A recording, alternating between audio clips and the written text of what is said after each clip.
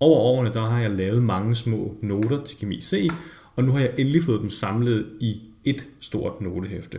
For lidt mere end et år siden, der samlede jeg alle mine B-niveau-noter i et hæfte, og nu er lillesøsteren altså klar til både stort og småt print. Notesamlingen det er en kort gennemgang af de væsentligste pointer fra mine C-niveau-videoer, og det er emneopdelt og selvfølgelig farvekodet på samme måde som mine memory cards. Den ligger, ligesom B-niveau-noterne gør, inde på hjemmesiden, og det er klar til at printe eller til at gemme som pdf. Hvis du har nogle kommentarer, eller rettelser, eller forslag til indholdet i notehæftet, så skriv endelig hernede i kommentarfeltet, eller skriv en mail til mig, og så håber jeg egentlig bare, at I får en god brug af noterne.